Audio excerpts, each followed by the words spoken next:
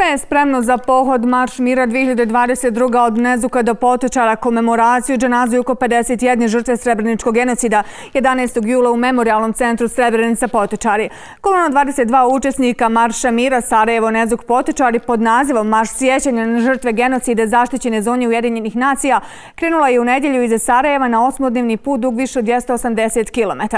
Kako teče njihov put, reći će nam Suljo Čakanović, podpredsednik pod odbora Marš Mira Nezuk Potočari Stari. Dobar dan i hvala što govorite za BHT uživo. Dobar dan vama i vašim gledalcima. Evo, kako sam malo čas rekla, kolona od 22 učesnika Marša Mira krenula je u nedjelju iz Sarajeva. U putu bi im se trebalo priključiti još učesnika. Gdje se trenutačno nalazi i kako teče njihov put? Pa, da vam kažem, ja, to su naši stari drugari, prijatelji koji već dugi niz godina učestvuju u Maršu Mira. Sarajevo, Nezvuk, Srebrenica i ja sam s njima bio svo vrijeme u kontaktu. Oni su trenutno stigli u Nezvuk i oni će nas sačekati sutra da se sastanemo. Pored, pored ove grupe e, iz Sarajeva koja je krenula, koju vodi a, naš stari drugar Amir, a, ima i grupa iz Ođaka, čiji je vođa puta a, Nihad Alić, također i oni su stigli u, u Nezvuk i oni se međusobno poznaju i tamo su se sastavili. E, koliko je trenutno prijavljen učesnika i da li te prijave i dalje pristižu? Pa vidite, prijave se mijenjaju, broj učesnika se mijenja iz minute u minutu. Do sada imamo oko 2000 prijavljeni što organizirani grupa, a što pojedinaca. Prijava teče sve do 8. ujutru, i e, veliki broj tih učesnika koji se koji su prijavljeni će doći da uzmu svoje akreditacije i, i svoje propusnice, ali siguran sam da veći broj onih koji nisu prijavljeni budu u nezvuku već 7. jula. Tako da a, broj prijavljenih i broj stvarnih učesnika je a, velika razlika i mi očekujemo između 4.500 i 5.000 ukupno učesnika ove godine. E, kako ste malo čas rekli, Marš Mira bi iz Nezuka trebao krenuti 8. jula. E, ove godine učesnici Marša Mira e, pješače na obnovljenoj stazi. Ako se ne varam, izračeno je, završ, e, je završno izviđanje i obilazak te staze i konstatovano je da je ona u prilično dobrom stanju. Pa da vam kažem, staza Marša Mira se obnavlja svake godine. Nije to, nije to klasično obnavljanje da se zauzimaju uzimaju neki veliki građevinski radovi tamo građevinski radovi gdje se poduzimaju, to je sve u cilju bolje opskrbe i, i pristupa logistici koja dođe, a kolone, pješaci idu 90% autentičnom trasom kojom smo mi išli jula 95. godine. Tako da mi tu trasu pripremamo, ovaj, e, čistimo, održavamo da bi, da bi pješaci mogli komotno da prođu. Dakle, ta, taj dio je spreman, sprem, spremna, spremni su svi ovi drugi segmenti prateći tako da Marš Mira može pomotno da kreće.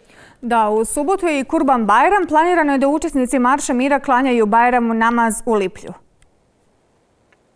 Pa to, to se dogodilo, evo, da, da kažem, na, na, na našu sreću da uh, imamo često naviku i običaj da kažemo ovaj naš, mir, na, naš Marš Mira je naše hodočašće u Bosni i Hercegovini i evo dogodilo nam se da nam se a, to naše hodočašće a, bude i Bajram namaz u, u Liplju i evo napravili smo dakle sve te logističke pretpostavke da se tu klanja Bajram namaz, ali evo ja bih iskoristio priliku da, da pozovem a, građane da nam se priključe za one koji ne mogu da učestvuju u Maršu mira, da nam se priključe na Bajram namazu u Liplju, jer će to biti centralna bajramska manifestacija za Tuzlanski kanton.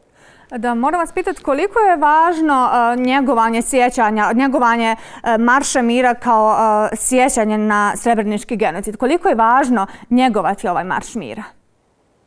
Da vam kažem, ma, ci, jedan od ciljeva ma, Marša Mira jeste ovaj, prvo da se oda dužna počast nevrno stradalim žrtvama jula 95.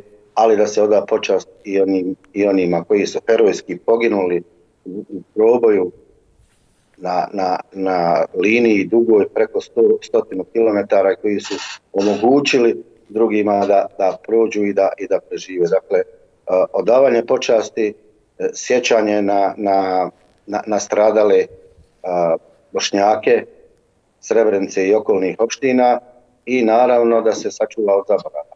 To, je, to, to, to su neki ciljevi svake godine i ponavljamo i mislim da, da, da, da trebamo da njegujemo tu tradiciju sjećanja i da čuvamo zabavu.